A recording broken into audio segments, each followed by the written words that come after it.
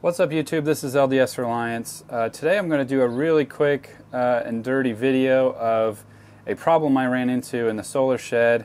I came out here to try to figure out what I needed to do to finish this project up and I ran into some wiring problems with the QO distribution center um, and so I wanted to show that to you real quick and how I'm going to solve it and this will probably be the last video I'll be able to crank out for a couple weeks so hopefully you guys will bear with me. So anyway, the problem that I ran into, um, I was able to find a fuse, I'm sorry, a breaker that would, uh, that would fit in there and would work for my application. However, as you can see, let me see if I can zoom in here a little bit. The wires that I'm using do not fit in, and so um, they don't fit in the, the terminals in the load center. These, these terminals, for whatever reason, are slightly smaller than the Homeline series that I was using before. So this worked with the Homeline series, does not work with the QO series, and the, the difference between the two, the QO um, is rated for 48 volt DC, and the Homeline series is not. So I was trying to switch over to a little bit better safety, a little bit better protection.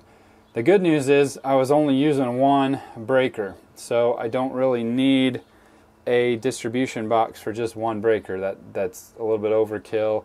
Uh, I want I put it in there for future expansion, but um, I don't have any immediate plans for for expansion right now. So what I'm going to do is I'm going to take this whole thing out. I'm going to put in distribution blocks that I already had laying around. Um, this will be plenty big enough. It accepts uh, one aught gauge, so um, plenty big enough. I'm just going to put an input and an output. I don't really need the breaker uh, protection because I already have breaker protection here and I already have breaker protection on the other side right there. So I already had breaker protection coming in and going out uh, or on both sides anyways.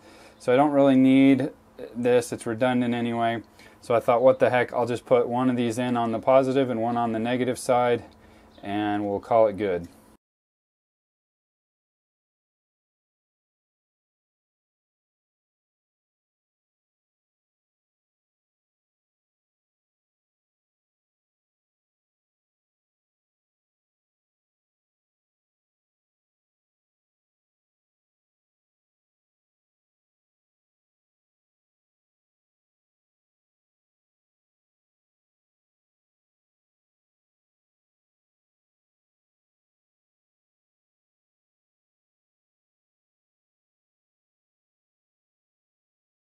Okay, there we go.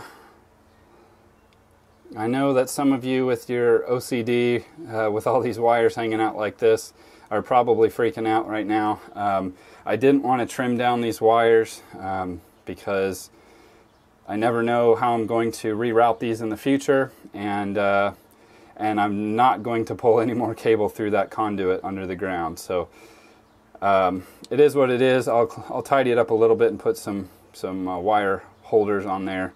Um, but it solves the problem. It distributes the power. Uh, it was a, a, solution I already had.